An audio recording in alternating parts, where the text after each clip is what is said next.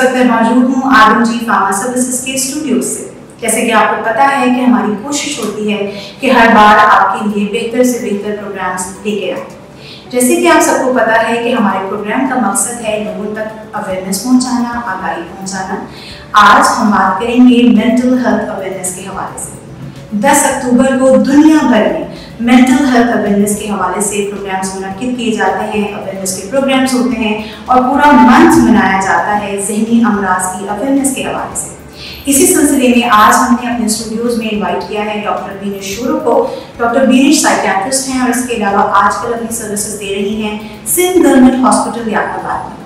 Doctor Binesh post graduate हैं psychiatry और इसके अलावा कॉग्निटिव बिहेवियर थेरेपी में भी डॉक्टर बीनेश ने अपनी बहुत सारी खदमात दी हैं। और अपनी स्पेशलिटी रखती हैं। चलते हैं डॉक्टर बीनेश की तरफ़। आज हम मालूम हासिल करने की कोशिश करेंगे कि जो पूरा मंथ मनाया जाता है मेंटल हेल्थ अवेयरनेस के हवाले से इसमें हम किस तरीके से अपनी और अपने प्यारों की आगाही कर सकते हैं। अस्सलाम क्या हाल चाल कैसी हैं आप? कैसी हैं? ठीक है। अल्हम्दुलिल्लाह डॉक्टर साहब, जैसे अभी मैंने इंट्रोडक्शन में लोगों को बताया कि हम आज बात करेंगे मेंटल हेल्थ अवेयरनेस के हवाले से तो आम फहम इंसान को बताने के लिए, लोगों की आसानी के लिए अगर मैं आपसे एक सिंपल लाइन पूछूँ that what is mental health awareness mental health awareness basically है क्या?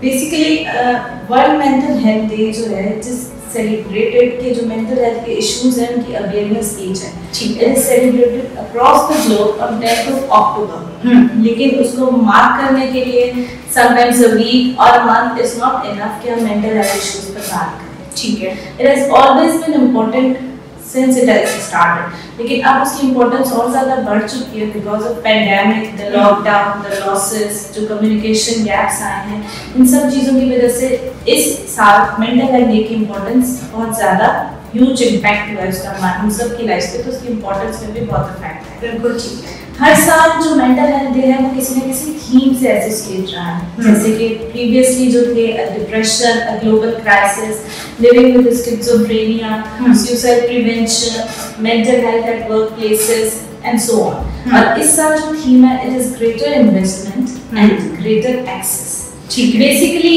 इन्वेस्टमेंट से मतलब तो यही है कि आप ज़्यादा से ज़्यादा अपनी मेंटल हेल्थ में इन्वेस्ट करें। बट इट्स नॉट पॉसिबल कि आप इसको लार्ज स्केल के बगैर दें। Government should take its responsibilities के लोगों को उनकी बेसिक हेल्थ नेसेसिटीज प्रोवाइड की जाए। लेकिन इंडिविजुअल लेवल पे भी we can invest a lot like our time हमारी अवेयरनेस हमारी नॉलेज अगर आप समझते हैं कि किसी को आपकी हेल्प की ज़रूरत है तो हम्म। आप वहाँ पर अपनी हेल्प प्रोवाइड कर सकते हैं इवन आप अपने रिसोर्सेज भी यूज़ कर सकते Sure, हैं sure. तो उस जब आप ज़्यादा रिसोर्सेज यूज़ करते हैं अपना टाइम लेते हैं अपनी नॉलेज देते हैं तो लोगों में अवेयरनेस बढ़ती है। ठीक है ठीक। और उनकी access access is very important कि उनको प्रोफेशनल के पास पहुँचना कैसे है। हम्म। क्योंकि बहुत सारे एरियाज़ में यहाँ ना तो मेंटल हेल्थ सर्विसेज़ है और ना ही प्रोफेशनल प्रोफेशनल तो वहाँ से उनको कैसे एक्सेस दिलानी है? टेक्नोलॉजी का यूज़ भी अगर करना है तो कैसे करना है? Because it's not possible. Her level पे हर बंदा हर चीज़ अचीव कर सके। बिल्कुल। तो उस तक पहुँचने में हम जितनी उनकी मदद कर सकते हैं जितना अपना वक्त दे सकते हैं वो हमें देना चाहिए। डॉक्टर साहब, आपने बड़े अच्छे तरीके से और बहुत आसानी से लोगों को इस सवाल का जवाब दे दिया। यहाँ एक और सवाल उभरता है कि जब हम बात करते हैं मेंटल इलनेस की या मेंटल हेल्थ अवेयरनेस की तो ये भी लोगों को बताना बहुत ज़रूरी है और आप बहुत बेहतर अंदाज में बता सकती हैं, क्योंकि आप माशाल्लाह साइकियाट्रिस्ट हैं।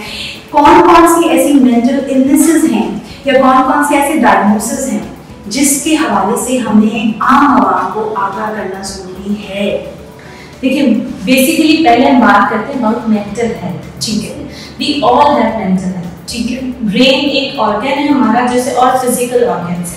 Like we have our eyes we have our lungs liver जैसे हम उनकी बीमारियों पे तशवीश में जाते हैं परेशान होते हैं उनके इलाज के तरीका ढूंढते हैं वैसे ही हमें अपनी मेंटल हेल्थ का भी ख्याल रखना चाहिए सही? मेंटल हेल्थ की जब आप बात करते हैं तो इट्स अ कंटिन्यूम। एक एंड पे जहाँ मेंटल डिसऑर्डर्स हैं जो। नेगेटिव इम्पैक्ट डालते हैं जैसे डिप्रेशन एंजाइटी शिजोफ्रेनिया वैसे इसके दूसरे एंड पे पॉजिटिव मेंटल हेल्थ भी है True. which keeps us thriving which keeps us motivated जिसकी हम्म। वजह से हम अपने कर पाते हैं जिसकी वजह से हम लाइफ में कंटेंट पीस जो हम मिस कर रहे होते हैं वो ढूंढ पाते हैं सही तो हमारा जो पर्पस होना चाहिए जो एम होना चाहिए वो to reach out the positive end of that continue लोगों को हमें मूव करवाने में उनकी हेल्प करनी चाहिए कि कैसे आप अपनी मेंटल हेल्थ एबिलिटीज ज़्यादा से ज़्यादा कैपेबिलिटीज यूज़ करके अपने लिए और सोसाइटी के लिए बेनिफिशियल हो सकते हैं ठीक है जब आप मेंटल डिसऑर्डर्स की बात करते हो तो normally we all have highs and lows ना कि हम हम्म। कभी उदास होते हैं कभी डरते हैं कभी हम हम्म। होते हैं कभी गिल्टी होते हैं हम्म। कभी कंफ्यूज होते हैं। ये सारी हमारी इमोशंस होती है ना. जिसमें से हम हर वक्त गुजर रहे होते हैं। सही है? So it's normal it becomes abnormal only जब ये क्रॉनिक हो जाए लॉन्ग लास्टिंग हो जाए और आपकी डेली रूटीन को अफेक्ट करने लगे आपके रिलेशनशिप्स को अफेक्ट करने लगे। ठीक है। So that is the point जहाँ पर आप कैच करते हो कि there is something wrong with my mental health. और आपको वहाँ पर हेल्प की ज़रूरत पड़ती है। एक्सेस इज़ वेरी इंपॉर्टेंट कि आप कैसे मेंटल हेल्थ प्रोफेशनल को एक्सेस करो और अपने लिए जो भी बेहतर मोडालिटी हो, उसकी ट्रीटमेंट उसकी ट्रीटमेंट की तरफ़ जाओ। डॉक्टर साहब, जब आपने ट्रीटमेंट की बात की तो लोगों को थोड़ा सा ये भी बताइएगा कि बेसिकली कोई भी मेंटल इलनेस हो तो उसके जो ट्रीटमेंट हैं, उसके ऑप्शन कैसे हैं? बिकॉज़ अब बहुत सारे लोग, ये भी हमसे सवाल करते हुए नज़र आते हैं कि हर कोई नहीं अफोर्ड कर सकता। लाइक बहुत सारे लोगों को महसूस होता है कि उनका जहन सही तरीके से काम नहीं कर रहा। लेकिन उसके बाद ऑप्शन क्या हैं?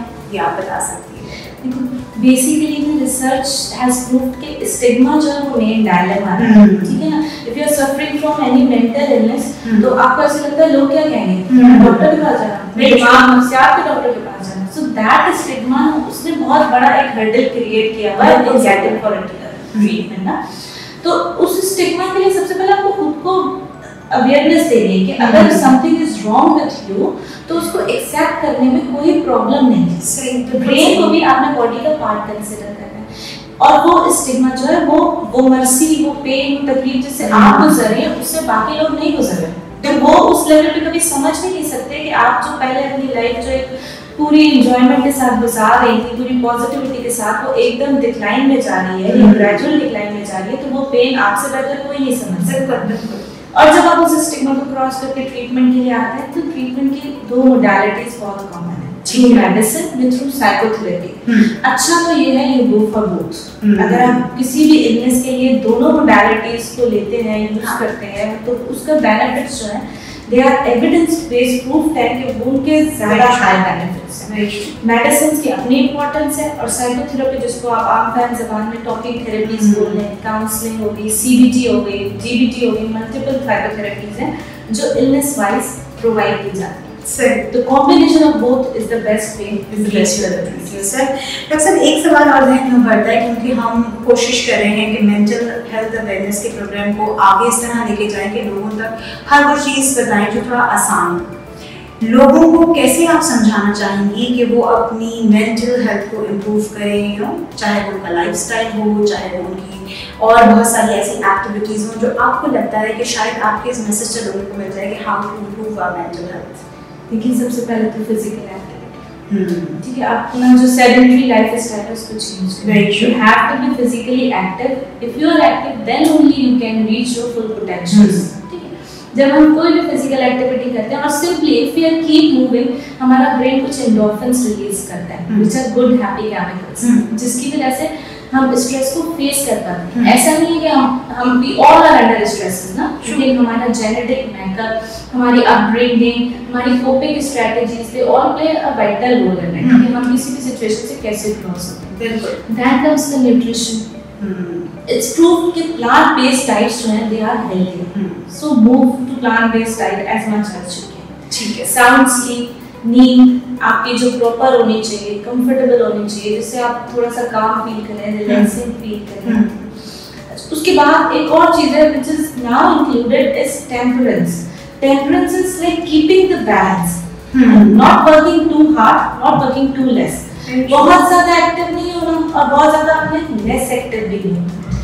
इट्स लाइक अ प्रॉब्लम हमारी सोसाइटी में ऐसे लगता था हमें कि as we have so many opportunities we have so many technologies तो this world would be a world of pleasure but instead it has been a world of pressure true we are facing a pressure. In how to be a perfect mother, how to be a perfect wife, how to be a boss, how to be a successful man. वो सारे pressures जो हम ले रहे होते हैं वो हमारी क्रिएटिव थिंकिंग हमारी एबिलिटीज को डाउन करते हैं। इट्स प्रूव बाय रिसर्च कि वो लोग जो सारी रात जाग के डबल काम कर रहे होते हैं उनकी जो आउटकम है ना that is not better than दोस्त जो सिर्फ़ एक अपने टाइम के हिसाब से काम कर रहे होते हैं।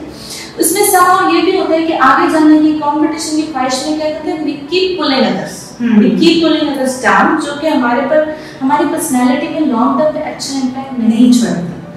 बिल्कुल सही बात की डॉक्टर साहब आपने इतनी अच्छी बात कही और आई एम श्योर कि लोगों को इससे फ़ायदा होगा। एक क्वेश्चन मैं आपसे पूछूँगी जो बहुत आम है और आपको हर दूसरा शख्स कहता हुआ मिलेगा कि अगर हमें डिप्रेशन है हमें हमारी तबीयत ठीक नहीं है पता चल गया है कि मेंटल इलनेस है। तो हम साइकेट्रिस्ट के पास क्यों जाएँ, जैसे आपने ये बात कही, अक्सर लोगों को लगता है, अगर कोई साइकेट्रिस्ट साइकेट्रिस्ट को दिखा रहा है तो शायद वो पागल हो गया है या पागल हो गया है, क्योंकि मेंटल हेल्थ अवेयरनेस का प्रोग्राम हो रहा है।